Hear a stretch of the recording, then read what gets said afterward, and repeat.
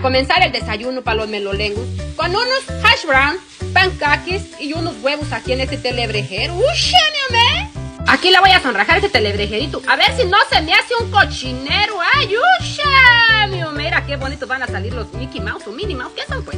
Y acá de este lado voy a sonrajar un huevo de rancho. Tiene para que no se le vaya a hacer un cochinero. Lo sonraja allí. Ay, yo, yo estoy desesperada por ver cómo me va a salir. A ver si no se me hace un batidero. Que no se rompa, que no se rompa. No se rompió. Ay, ay, ay. Qué bonito van a tragar. Y vamos a empezar las hash brown. Va a agarrar un telebrejerito de esto y lo va a empezar a remoler así, a remoler. Miren, porque tiene que tener las hebritas así, porque estas van a ser hash brown. Vamos a ver si nos sale. ¿Qué quieres? ¿Qué, qué, qué quieres?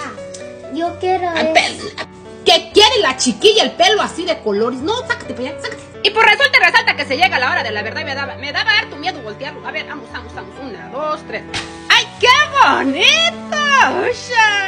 Aquí con la huevonada, siento que sí voy a hacer un telebrejero, un batidero. ¡Ay, ay, qué bonitos me están quedando! Van a tragar hasta que se arquen los chiquillos mire, agarra una traste así y lo mete allí porque si no se va poniendo como quietita esta y así no, no, no le va a salir bueno el hash brown.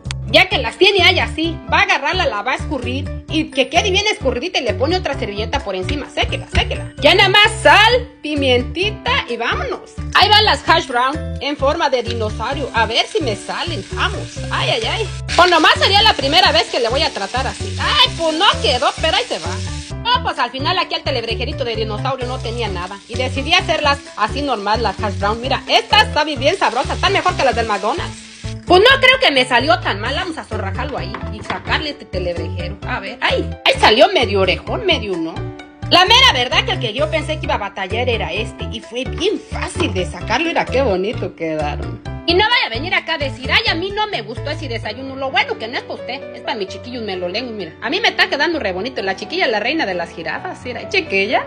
Pues acá de este lado a mi envoltorio le estoy poniendo pura rana. No sé ni por qué, pero ahí le estoy sonrajando puras ranas al melolengo. Era envoltorio. Y no hay distinción y no las hay. Y nada más le vamos a clavar aquí unos ojos para que me vean, estén como viendo los ojos de malas. Y otros aquí para el envoltorio. No hay distinciones, es lo mismo.